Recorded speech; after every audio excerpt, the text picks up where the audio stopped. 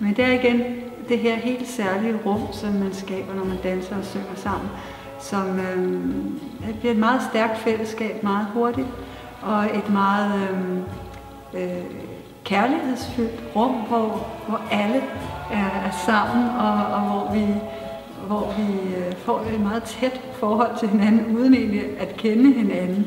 Øh, så, så bliver der alligevel det her rum, som er meget rørende, hvor, at, hvor vi alle sammen øh, kan være med vores stemmer og vores bevægelser og vores krop. Hele mennesket. Det er meget smukt.